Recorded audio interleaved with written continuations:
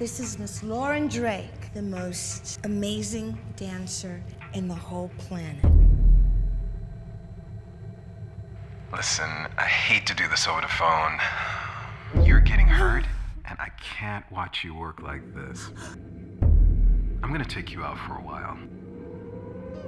You're a mom now. Just give yourself a break. Who's ready for a little bit of this? You know, I can still dance. Des, what's happening? She's injured. I don't think I can stand on it. You're gonna have to. Break your body for me. Oh, my body's broke. You are very lucky people.